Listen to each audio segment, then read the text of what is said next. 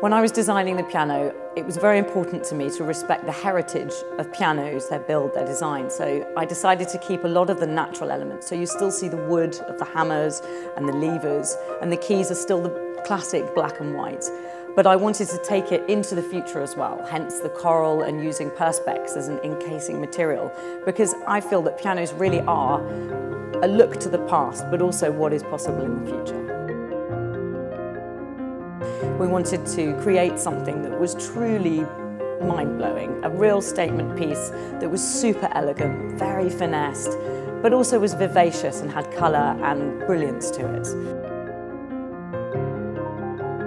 I decided coral would be an amazing colour to use in the piano. In my earlier years, I travelled through India and it was one of the colours that really comes to my mind when I think of this incredible country, the sunsets, the colour of the soil. It would look incredible in Miami or in a very sophisticated country house in the UK. And I think that's the beauty of this piece. It is a global piece of art and for everyone to enjoy.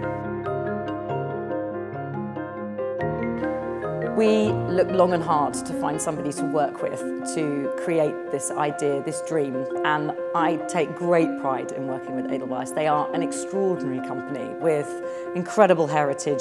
Edelweiss started back in 1975, so we're over 45 years old. It was actually my grandfather who founded our company, starting out just as a piano tuner.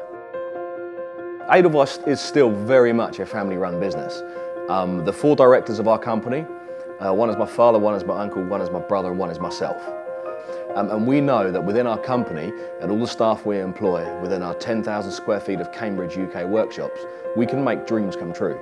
We can really make things that are special, we can make things that are unique, and more than that, we can create it in the fourth dimension because we can add music. Every Edelweiss is the embodiment of at least 250 man hours of our artisans. Our team of artisans um, spend their time lovingly honing, refining, voicing, tuning, tweaking every piano to its absolute peak of musical perfection. We take every piano right back to its very bare components. Um, we measure everything. We're measuring the strike angle, we're measuring the string height, we're measuring the strike force, we're measuring the dip, the blow.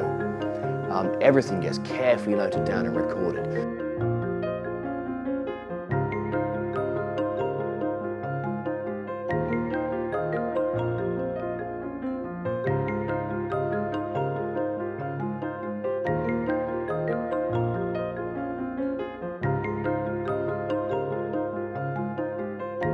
Working with Dio Davies was a very exciting experience for us at Edelweiss. Um, we loved being able to sit down with Dio, we loved the way we could take the piano to pieces with her, and we went through every detail. And to be able to combine that uh, with some of the transparent Perspex um, case components that have been included, for us was just very exciting.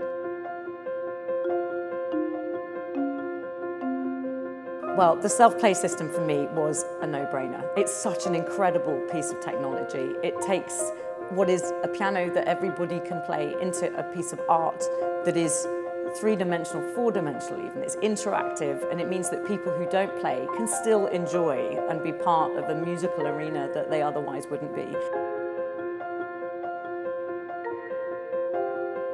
We decided to put lighting into the piano because whilst during the day, let's say, you want it to be an elegant piece of sculpture, a lot of our clients want to have something that's fun and different. And so at the touch of a button, it starts the party and it illuminates. And at night time, when all the lights are off and just the piano is glowing, it's truly sensational.